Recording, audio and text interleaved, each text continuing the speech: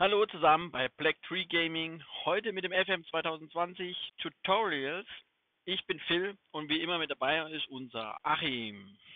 Hallöchen. Hallo. So, diese Folge kümmern wir uns um die Mitarbeiter. Riesenthema im FM, ganz wichtig, weil auf ein gut funktioniertes Funktionsteam kann man sich immer verlassen. Sollte man sich immer verlassen können. Wir werden jetzt hier einmal die Übersicht durchsprechen und dann in einer weiteren Folge mal uns genau Mitarbeiter angucken. Deshalb fangen wir jetzt an, die Übersicht. Wir gehen hier auf den Mitarbeiterreiter, sehen wir schon, haben dann hier die Übersicht der Mitarbeiter. Unsere Mitarbeiter ähm, teilen sich grundsätzlich in drei grobe Bereiche ein. Einmal der Trainerstab, das Scouting- und Transferabteilung und die medizinische Abteilung. Fangen wir einfach vorne an. Trainerstab. Hier unten sehen wir, was uns für Stellen genehmigt wurden. Also einmal ein Cheftrainer, das sind wir. Einmal unser Co-Trainer, Florian Bruns in diesem Fall. Jugendabteilungsleiter zählt aus dem Trainerstab, Christian Streich. Dann sind, sehen wir hier vier von sechs im weiteren Trainerstab. Der weitere Trainerstab umfasst Assistenztrainer, die allgemeines Training machen können. Darüber sprechen wir in der Folge Training und Fitnesstrainer. Es gibt noch einen Torwarttrainer. Ja, das waren so die drei Allgemeintrainer. Wie hier hinten steht, allgemein, Torhüter und Fitness. Hier unten ist dann noch ein kleiner Vergleich des Trainerstabs in der Bundesliga. Der höchste wäre hier. Wir sind jetzt, würde ich sagen, unser Trainerstab ist eher so im unteren Drittel der Bundesliga. Heißt, wir haben hier noch Potenzial, äh, uns weiter auszubauen. Kommt natürlich immer darauf an, welche Mitarbeiter wollen überhaupt zu uns kommen und können wir uns diese auch leisten. Es ist nicht wahnsinnig reicher Verein, sind uns da irgendwann die äh, Grenzen gesetzt. Genau, selbes gilt Scouting, Transferabteilung. Ähm, hier werden die Spieler bewertet. Also hier ist gerade, wenn du einkaufst, äh, dich auf Scouting äh, verlassen musst, ist sehr wichtig, dass du gescheite Mitarbeiter hast, dass du ähm, Scouts hast, die gute Bewertungen abgeben können. Du hast Datenanalysten, die äh, eine gute Datenanalyse erstellen können und dir die richtigen ähm, Zusammenfassungen dann geben, also die richtige Meinung weitergeben, weil je schlechter dein Mitarbeiter, desto ungenauer wird die Meinung, die oder die Bewertung, die ein Mitarbeiter dir übermittelt. Hier gibt es jetzt zwei neue ähm, Mitarbeiter im FM20, gab es früher nicht, der technische Leiter und der Leihkoordinator. Persönlich nutze ich die aktuell noch nicht. Ich denke, die werden wahrscheinlich in folgenden FM-Titeln noch weiter ausgebaut. Der technische Leiter soll einfach ein bisschen drauf gucken, dass die Spieler ähm, ja, der technische Leiter ist für, auch hauptsächlich für die Mitarbeiter zuständig, Mitarbeiterfortbildung und so weiter.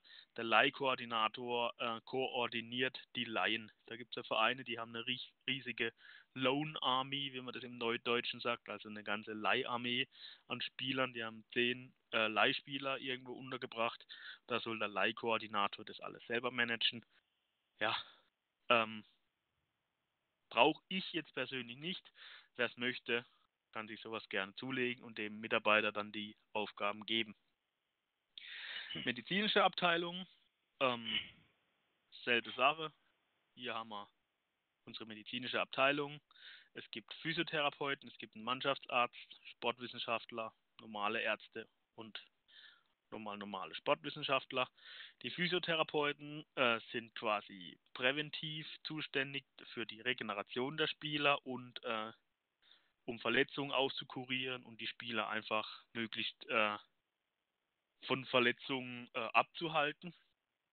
Der Mannschaftsarzt behandelt dann Verletzungen und die Sportwissenschaftler sind die Mitarbeiter, die uns in der medizinischen Abteilung, da verweise ich gern auf unsere Folge zur medizinischen Abteilung, ähm, uns die Bewertung zur Risikobewertung, zur Verletzungsanfälligkeit äh, zukommen lassen. Hier auch wieder gilt, je besser der Mitarbeiter, desto besser die Bewertung. Also man kann sich nicht einfach grundsätzlich darauf verlassen, dass die Mitarbeiter nur Richtiges sagen. Es muss auch schon ein guter Mitarbeiter sein. So, wir haben hier diesen Button in jeder Abteilung. Hier können wir direkt mit dem Vorstand interagieren. Zwar können wir den Vorstand bitten, das Maximalgehalt für den Co-Trainer anzuheben, wenn wir einen besseren Co-Trainer verpflichten wollen, aber einfach nicht über die Gehaltsgrenze, die aktuelle, äh, hinauskommen. Ähm, können wir hier mit dem Vorstand sprechen, ob wir mehr kriegen. Wir können eine Anzeige aufgeben, heißt wir melden uns beim Arbeitsamt und sagen, wir brauchen jetzt Assistenztrainer, wollen eine Anzeige schalten, das können wir auch gerne machen. So, erfolgreich die Assistenztrainer-Anzeige geschaltet, okay, haben wir hier eine E-Mail gekriegt, Suche nach Assistenztrainer startet. Sie werden in Kürze über interessierte Kandidaten benachrichtigt. Also wir haben uns jetzt beim Arbeitsamt gemeldet und können sagen, wir brauchen Assistenztrainer, bitte schickt uns eine Sammlung an Assistenztrainern, die Interesse hätten, zu uns zu wechseln. Genau, so viel mal zur Übersicht. Wenn eine ähm, Gruppe von Assistenztrainern zum Beispiel aufgefüllt ist, dann haben wir irgendwann die Möglichkeit beim Vorstand anzufragen, ob wir weitere Assistenztrainer kriegen. Wir haben maximal sechs momentan, ähm, die uns genehmigt sind, die wir im Verein beschäftigen dürfen. Wenn wir die sechs ausgelastet haben, haben wir die Möglichkeit, den Vorstand anzusprechen und zu bitten, darum zu bitten, weitere Assistenztrainer einzustellen. Mhm. Das kann uns dann einfach unser äh, Coaching-Staff ein bisschen erweitern, damit wir besser das Training abdecken können. Dazu sprechen wir dann in der Folge Training nochmal darüber. Selbes gilt zum Beispiel für die, ja? Äh, eine Frage, ja. Ähm, ja. Kann das dann auch sein, dass gekürzt wird durch schlechte Leistung oder durch Abstieg oder sonst irgendwas, dass ich jetzt dann später nur noch vier haben darf oder so? Ähm, es kann sein, dass wenn der Verein finanziell in schwere Nöte gerät, dass dann der Mitarbeiterstab gekürzt wird. Mhm. Dann äh, wird aber dann okay. der Bestand erhalten. Also es kann, man kann sein, dass man hier fünf, also fünf sind vorhanden, von maximal vier hat. Ja. Das ist dann einfach die Sache, man kann den Vertrag nicht verlängern. Ah, aber der okay. Trainer wird nicht entlassen. Also okay. wird nicht direkt entlassen, aber mhm. Ver Vertragsverlängerung geht nicht, bis man halt wieder die maximale Zahl erreicht hat. Ja, okay. Gut. Genau. Ähm, einen Chef-Physiotherapeuten, Chef-Sportwissenschaftler, Chef-Scout, Chef-Datenanalyst kann es immer nur einmal geben. Aber irgendwann haben wir die Möglichkeit, die Scouts auszubauen, wir haben die Möglichkeit, die Physiotherapeuten auszubauen, die Sportwissenschaftler, die Datenanalysten und die Trainerassistenten. Mhm. Genau. So. Großer Bereich, die Aufgaben der Mitarbeiter. Wurde im FM20 auch nochmal überarbeitet. Hier haben wir jetzt eine sehr, sehr unübersichtliche Übersicht, ähm, wie ich finde. Man wird einfach mit Schrift, Schrift, Schrift zugeballert, ohne was genau zu erkennen zu können auf Anhieb.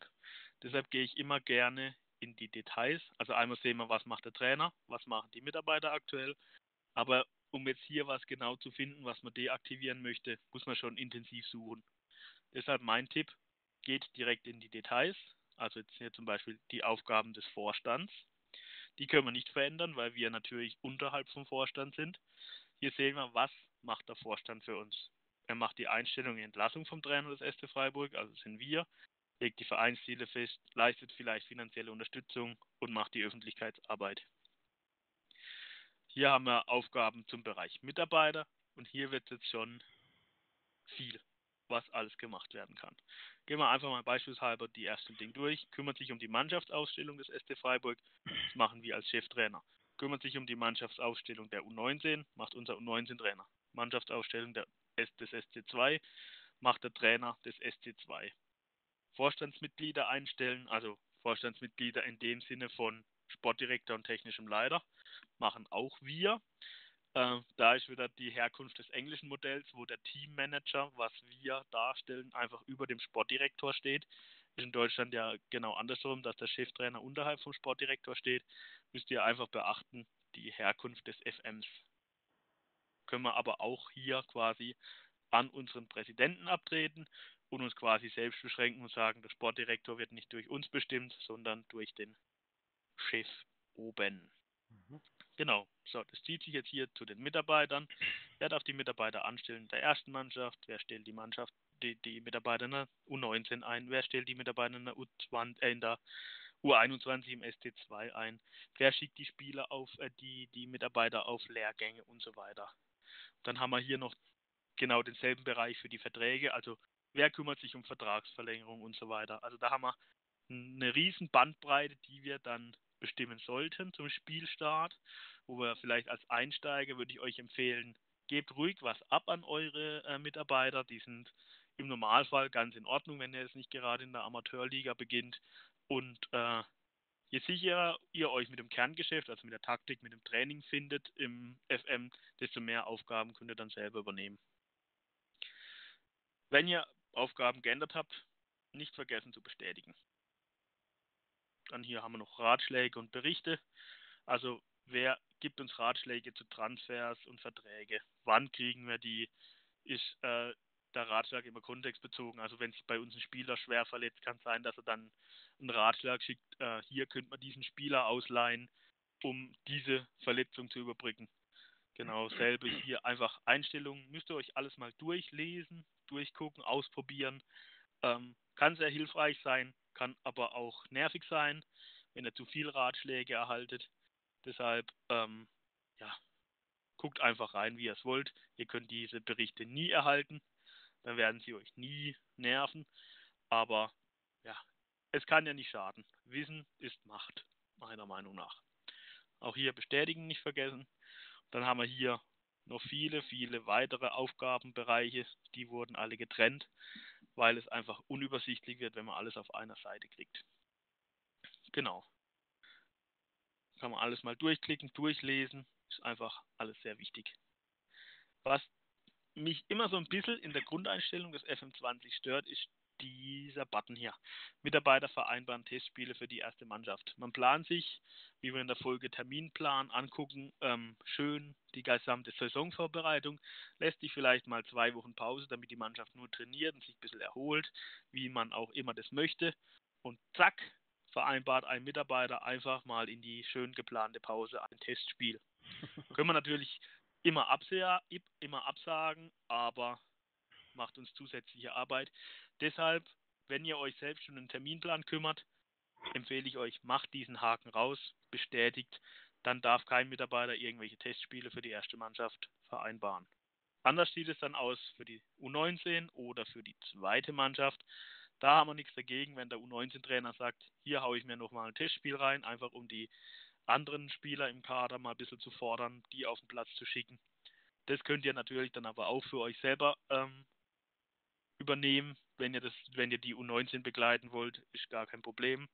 Für mich ist das dann immer zu viel Mikromanagement. Ich vertraue gern meinen Mitarbeiter. Dafür suche ich mir dann aber auch teure Mitarbeiter aus, die ordentlich Qualität mitbringen. Genau. So viel mal zu den Aufgaben insgesamt. Ich würde euch einfach empfehlen, klickt euch mal durch, nehmt euch die Zeit, Schaut euch an, was kann ich abgeben, was will ich selbst machen. Man kann hier relativ einfach delegieren oder wieder übernehmen. Mit dem kleinen Dreieck hier unten kann man sich weitere Mitarbeiter aussuchen. Zum Beispiel, wenn ich jetzt die U19 soll immer jetzt vom ähm, Christian Streich beauftragt werden, dann wähle ich mir einfach immer den Christian Streich aus. Ist ein bisschen Klickarbeit, aber Christian Streich einfach eine Koryphäe in seinem Job, der soll diese Sache übernehmen. Dann machen wir das einfach so, wie wir das wollen und brauchen. Genau. So, Personalsuche. Hier suchen wir uns unser Personal zusammen. Also, Personal habe ich jetzt äh, auch schon erwähnt, ist wichtig, auf die richtige Qualität zu achten. Qualität des Personals entscheidet über die Ergebnisse ihrer Arbeit. Wir können uns nicht einfach billiges Personal einstellen, damit wir Geld sparen und uns dann einfach auf die Arbeit verlassen. Klar, theoretisch können wir das machen, wenn wir Geld sparen müssen. Ähm, ich würde es nicht empfehlen wenn man sich viel auf die äh, Mitarbeiter verlässt, schaut zu, dass ihr gute Mitarbeiter kriegt. Genau. Hier sind wir einmal in der Übersicht. Hier oben, wie viel haben wir noch im Trainerstab frei, wie viel haben wir im Scouting-Bereich frei, in der medizinischen Abteilung, wie viel Transfer- und Gehaltsbudget haben wir noch übrig. Und dann die Übersicht. Insgesamt haben wir über 2000 Personen gefunden beim SC Freiburg. Entschuldigung, wir haben einen Filter, sind grundsätzliche Filter einfach mal abgebildet. Das ist der bevorzugte Job, der aktuelle Verein und dann ein paar Coaching-Attribute. Genau dasselbe für die mentalen Attribute und die Attribute für die medizinische Abteilung. So, jetzt ähm, suchen wir einfach mal nach einem zusätzlichen Assistenztrainer. In der Übersicht haben wir gesehen, wir haben noch zwei Assistenztrainerstellen frei. Gehen wir auf die Personalsuche. In der Folge Training werdet ihr sehen, dass wir ähm, Assistenztrainer gewissen äh, Trainingsarten zuordnen können. Und diese Assistenztrainer haben dann gewisse Sternebewertungen in genau dieser Trainingskategorie. Es gibt drei grundsätzliche Attribute, die eigentlich jeder Trainer haben sollte. Das haben wir auch mal in der Folge zum Karrierestart besprochen. Und ich mache mir immer grundsätzlich schließe ich alle Trainer aus, die unterhalb dieser Attribute liegen, weil es einfach keinen Sinn hat, solche Trainer einzustellen. Das ist einmal die Zielstrebigkeit, die Motivationsfähigkeit und die Disziplin.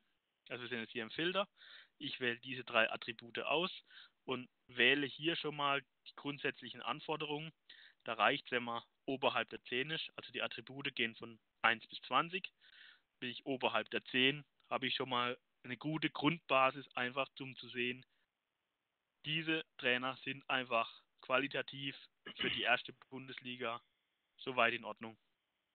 Das war jetzt über das Schnellauswahlmenü, haben wir, können wir hier auch die Attribute nochmal genauer bestimmen, aber einfach schnell ausgewählt, Zielstrebigkeit, Motivationsfähigkeit und Disziplin. Jeweils ist es ist mindestens 11.